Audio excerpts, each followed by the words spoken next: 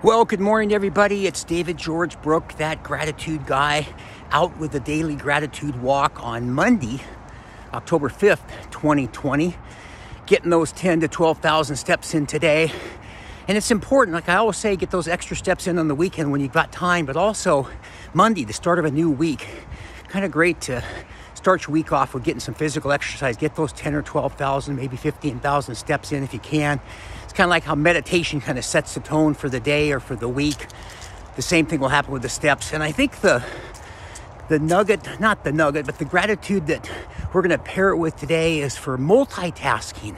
I was thinking some of these devices, this smartphone, and gosh, I can go out and shoot these videos, get my exercise in, use the AirPods, listen to a podcast, listen to a book, make some phone calls, even put some notes on the notepad. Just the ability to multitask, be able to do things effectively. And some of the devices we have make it so much easier and so much more convenient. So get those steps in today and be grateful for being able to have some things that help us to multitask. That's the message for today. Remember, be grateful and never quit.